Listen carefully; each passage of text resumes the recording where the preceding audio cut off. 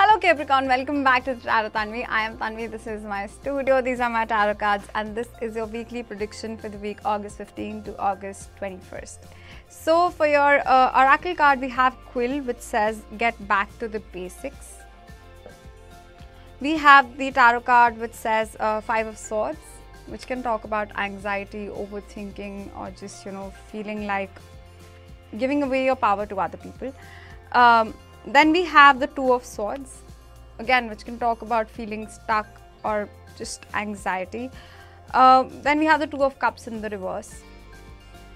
For your Oracle card, we have Don't Stop.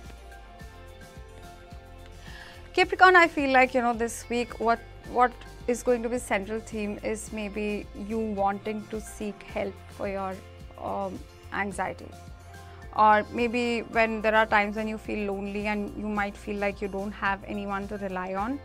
And uh, again don't let your anxiety dictate your life because anxiety is a liar. Anxiety does not tell you the truth. Anxiety makes you feel drained and it is always always always lying. It is not something that is real. Your fears are not real. They they are in your head. And because they are in your head they can seem real, but they're not real. And because they are in your head and they are your fears, you have the power to stop and control your thoughts and your anxieties and your fear.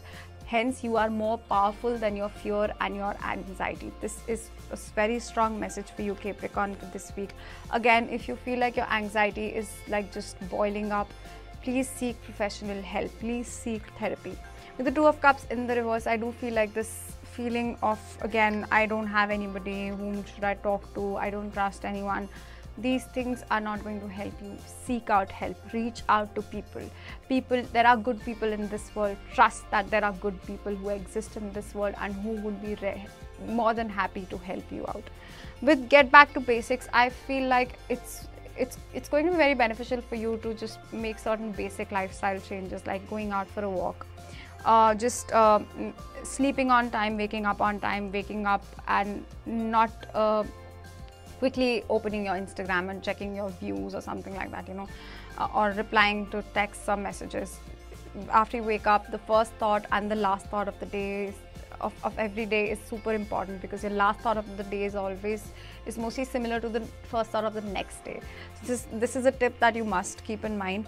Uh, with the get back to basics, I also feel like you know go meditate, seek help, um, and eat good food. You know, eat basic food. Don't overindulge into temptations or uh, what your taste buds are wanting to eat.